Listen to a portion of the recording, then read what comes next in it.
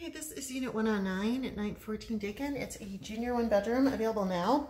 So in the process of doing some painting, so that's why you'll see that um, stuff on the walls. That's basically on um, raised first floor with three-story walk-up. You have an intercom.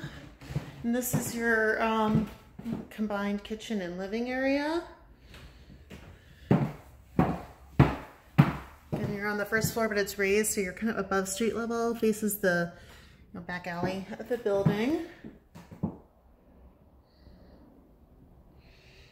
A radiator for heat, ceiling fan.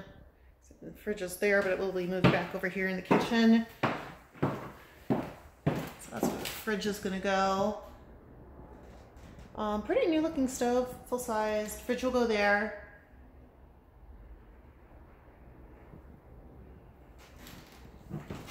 And then you do have a back door that leads out to um, trash and recycling.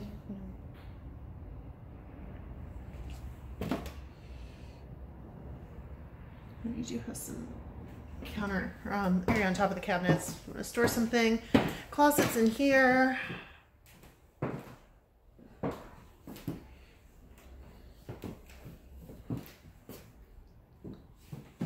You know, mirrors for doors.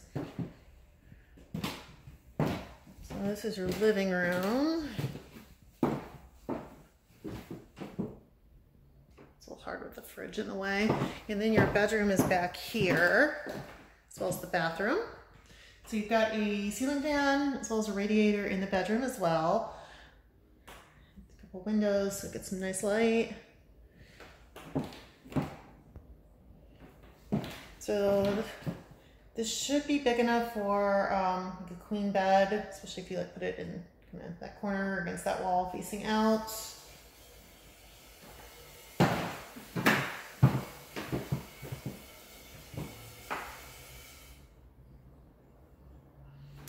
Closet in here. It's basically uh, about the same size as the closet in the hall. So it's a uh, mirror doors.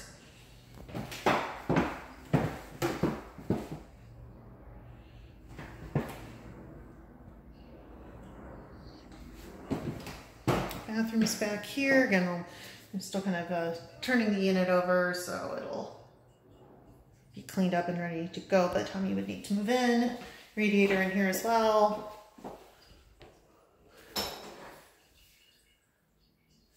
Got a little bit of storage in the bathroom. Looks like that paint might be wet, so I'm not gonna touch the uh, medicine cabinet too much, but I get the idea.